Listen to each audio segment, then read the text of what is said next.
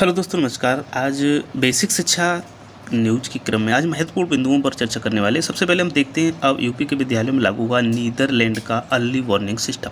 ये महानिदेशक महोदय का जो आदेश है, वो आ चुका है।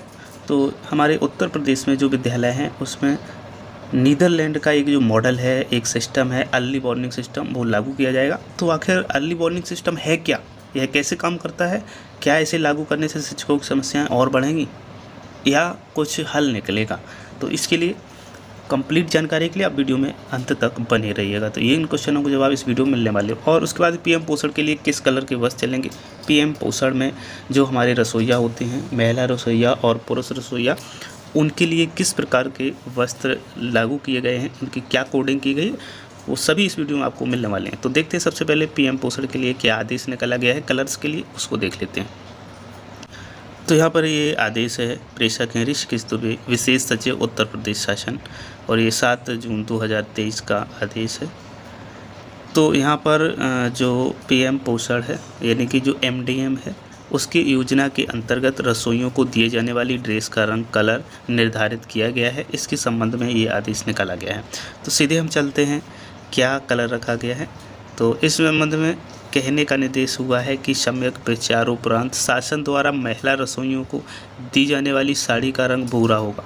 तो जो महिला रसोईया है, उनको भूरे कलर की साड़ी पहननी होगी। साथ ही पुरुष रसोइयों के लिए दी जाने वाले पेंट का रंग भूरा होगा, यानी कि ब्राउन कलर होगा और शर्ट का कलर बादामी रहेगा। तो शर्ट इनकी बादामी कलर की रहेगी और जो पैंट है, वो भूरा कलर का रहेगा। ये पुरुष रसोइयों के लिए निर्धारित किया गया है। ये ड्रेस ड्रेस की कोडिंग की गई है। अब देखते हैं, आगे चलते हैं। तो जो महत्वपूर्ण बिंदु हैं, नीदरलैंड का मॉडल सिस्टम, उसको देखते हैं, किस प्रकार से काम करेगा, क्या होगा। तो यहाँ पर नीदरलैंड की तर्ज पर प्रदेश के स्कूलों से ड्रॉप आउट जो स्कूल बच्चे बीच में छोड़ जाते हैं या स्कूल रोकते नहीं हैं, उनको चिन्हित करने की प्रक्रिया शुरू की की गई है। देवीपाटन मंडल के सभी परिषदीय स्कूलों में नीदरलैंड के अर्ली वार्निंग सिस्टम, इनकी अग्रिम चेतावनी व्यवस्था को लागू किया जाएगा।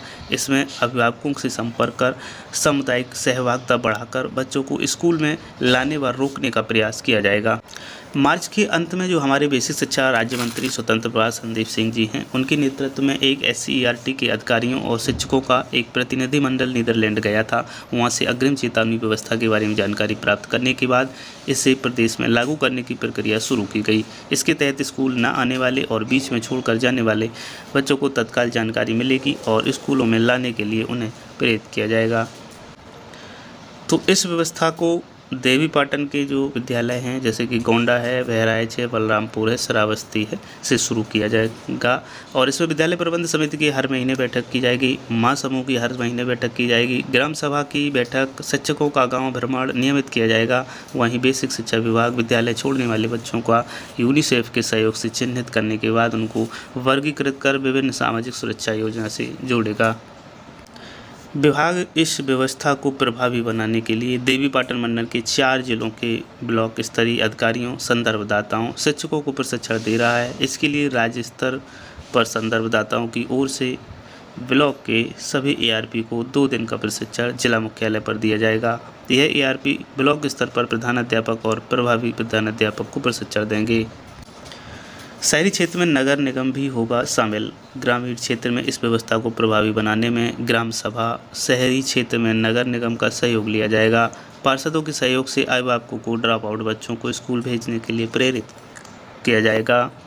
स्कूलों में छात्रों की उपस्थिति में कमी और स्कूल छोड़ने वाले बच्चों को सामुदायिक सहभागिता से रोकने व कम करने के लिए व्यवस्था शुरू की जा रही है। ऐसे देवी पाटन मंडल में शुरू किया जा रहा है। बाद में पूरे प्रदेश में लागू करेंगे। विजय किरण आनंद, महानिदेशक, स्कूल शिक्षा। तो इस प्रकार से ये पूरा सिस्टम जो नीदरलैंड का अर्ली वार्निंग सिस्टम है, वो कार्य करेगा। तो जो फोकस होगा, वो विभिन्न बैठकों पर होगा, शिक्षकों को विद्यालय जाने होगा, उसके साथ साथ गाँव का भ्रमण करना होगा। तो इसका मतलब शिक्षकों की समस्याएँ और बढ़ने वाली हैं। अब एक चीज़ और यहाँ पर मैं बताना चाहूँगा। आप हमारे चैनल से जुड़े रहें, क्योंकि डेली एक क्विज जो कि डाली जाती है जो कि प्रेरणा मिशन के अंतर्गत जो मिशन भारत जो चल रहा है प्रोग्राम, निपुण भारत मिशन वाला, उससे संबंधित होता है। तो क्योंकि इससे संबंधित जानकारी हम सब शिक्षकों को होनी चाहिए, इसलिए मैं क्विज के माध्यम से आपको ये जानकारी ज़्यादा से ज़्यादा करवा रहा हूँ। साथ ही साथ, प्रेरणा यूपी पर जो भी इम्पोर्टेंट बिंदु हैं जो हमें ज़रूरी होते हैं, उन पर क्रम से डेली एक वीडियो डाला जाता है। तो उसका एक प्लेलिस्ट भी आपको पूरा मिल जाएगा और उस प्लेलिस्ट को आप ज्वाइन करके सभी वीडियो को क्रम से देख सकते हैं।